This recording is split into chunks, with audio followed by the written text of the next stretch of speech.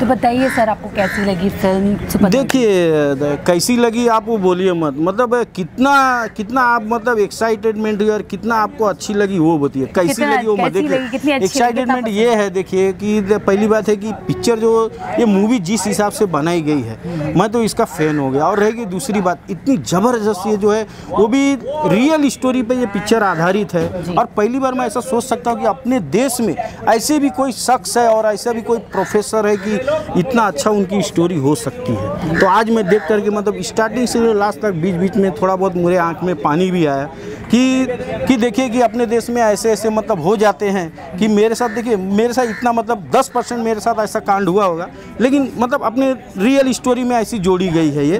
देखिए ये ये मूवी जो है हर एक व्यक्ति हर एक बच्चे और हर एक कोई भी हो हर एक इंडियन को देखनी जो सोए हैं उनको हर एक परिवार के साथ भले एक दिन कॉलेज और स्कूल मत जाइए ये मूवी देखिए पूरी फैमिली के साथ बैठ के और ये पूरी स्टोरी इतनी साफ़ सुथरी है और जो भी कोई आज तक मूवी नहीं देखी ये मूवी देखिए इतनी बेस्ट बनाई है। और ऋतिक रोशन वाह।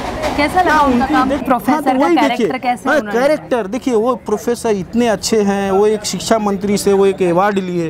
और शिक्षा मंत्री यहाँ तक उनको आश्वासन देते हैं कि आपको कभी भी कोई ज़रूरत पड़े तो आप आ जाइए हमारा घर आपके लिए खुला है। और उनका जो है जब उनको ज़रूरत पड़ता है तो कैम्ब्रिज में उनकी इंट्री हो जाती, पढ़ने के लिए खुश हो जाते हैं। उनको पैसे की ज़रूरत, गरीब घर के लड़के रहते हैं। एक पोस्ट ऑफ़िस के वो लड़के रहते हैं उन काम करने वाले, उनके पिताजी रहते हैं। देखिए, थोड़ा बहुत पूरा आपको स्टोरी नहीं बताऊँगा, क्योंकि रियल स्टोरी आप देखेंगे तो ही ठीक रहेगा।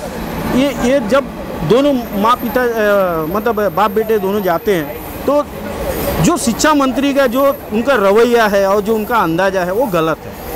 देखिए, आज जो है अपना देश आगे निकल चुका है तो मैं यही चाहूँगा कि आज ये अपना जो सिस्टम है, ये चेंज होना चाहिए। जो गरीब लड़का अगर पढ़ना चाहे तो कैसे पढ़े?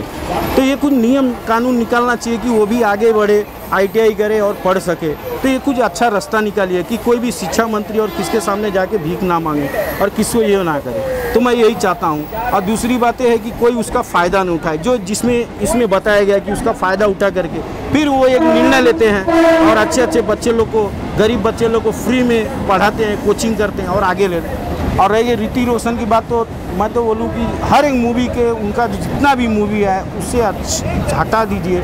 इसमें उन्होंने इतना अच्छा एक्टिंग किया है और इतना उनका बोल एक्टिंग जो है कपड़ा फटा हुआ देख गरीब लड़का कैसा रहता है फटा हुआ पैंट फटा हुआ कपड़ा देखिए एक्टिंग आप देखेंगे तो बोलेंगे आपके भी आँख में से आँसू आ जाएगा। कोई एक प्रोफेसर जो है साइकिल पे पापड़ बेचता है। देखिए कुछ आपको हिंग दूँगा बस मूवी आपको देखना पड़ेगा। तो आप के हिसाब से ये फ़िल्म धमाल मचाएगी बॉक्स ऑफ़िस देखिए धमाल मचाना हर एक इंडियन और हर एक हर एक जो है बच्चे लोग के हाथ में और हर एक जो है इंडियन के हाथ में। क्यों? ये सच्ची घटना पे आधारित पिक्चर है।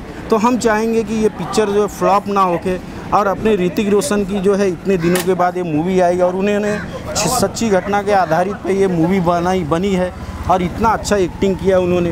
पूरी पिक्चर जो है देखने लायक है, मूवी देखने लायक है। मैं यही चाहूँगी पूरी फैमिली के साथ में आप ये मूवी देखिए।